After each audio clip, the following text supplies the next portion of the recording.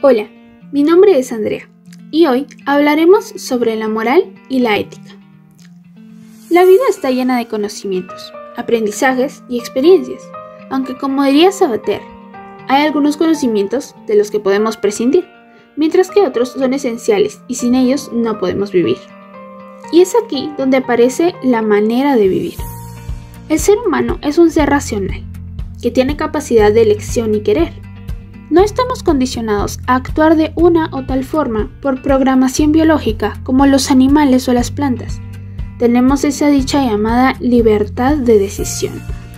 Aunque quizá también es nuestra característica más vulnerable, porque al elegir nos podemos equivocar. Pero ¿cómo sabemos qué es lo mejor para elegir? ¿Esto o aquello? ¿O no elegir? Todos los seres humanos Crecemos en un entorno y bajo tutela de padres, maestros o autoridades y aprendemos de ellos. Aunque también llegamos a cierta edad a desarrollar un pensamiento autocrítico que nos insta a reflexionar sobre nuestra manera de vivir. Y es aquí donde entra la moral y la ética. Ahora bien, ¿qué es la moral? La palabra moral viene del latín mos, que refiere a la costumbre, una posesión que nos transmiten nuestros padres, familia, sociedad, iglesia o autoridad. La moral entonces es un conjunto de normas y valores que orientan la conducta de una persona o sociedad en específico y se mueve en el plano de lo concreto, es decir, de las acciones. Es una tarea que se debe hacer y que forja el carácter. Y por otro lado, ¿qué es la ética? La palabra ética viene del griego ethos, que refiere al modo de ser o el carácter. Esta se adquiere mediante la reflexión y la incorporación de esta a la propia existencia. La ética refiere a lo que construimos nosotros mismos con nuestra existencia. Como vemos, la ética se fundamenta en la persona misma y es su dignidad sobre cualquier circunstancia y puede ser vista desde un enfoque social, legal, religioso, filosófico o histórico. La ética es parte de la filosofía porque considera a fondo las acciones de la vida, el universo o el ser humano mismo, y determina los principios o acciones a tomar. A diferencia de la moral, la ética se mueve en el plano del abstracto.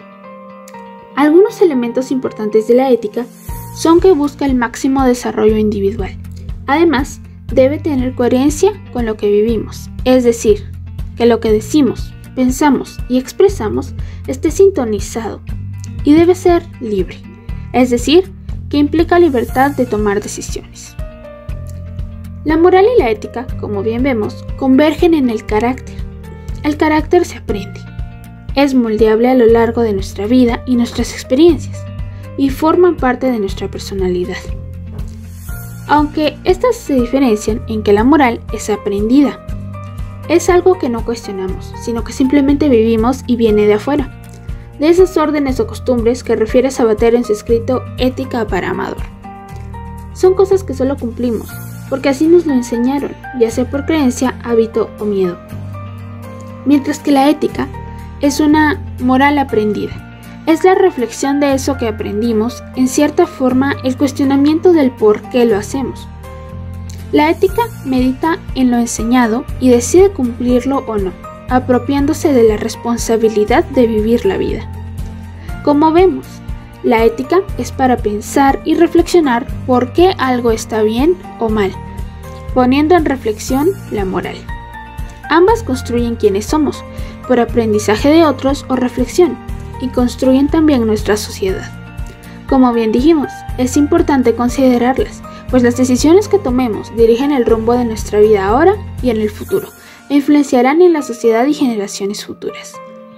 Como diría aquel escritor del Salmo 90 en el texto bíblico, que podamos entender qué corta es la vida, para así vivirla con sabiduría.